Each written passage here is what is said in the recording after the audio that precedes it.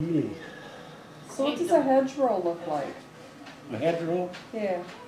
It, uh, for many years, there must have been for years and years, and French people, they, uh, they used them for fences to divide their property.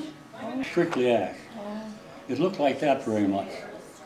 And, uh, and what they would do, what happened there many years ago, they, they let that grow on top of the, their, uh, these hedgerows.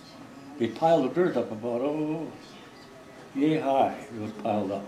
And then the brush was, um, up off, off of that.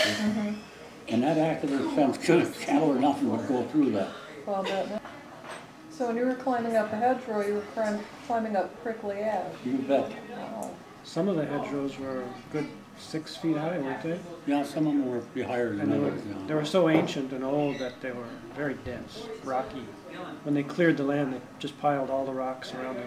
Now there was rocks and the uh, the Patton couldn't go through them with a tank. No, That's why when he got to St. Lô, when we got to St. Lô, when Patton brought in his stuff, that was forty some miles, around forty miles. He had tanks and, and, and, and, and uh, jeeps or whatever, gun, gun, uh, uh, trucks and stuff. Had them lined from the beach to, to- up to the St. Lô.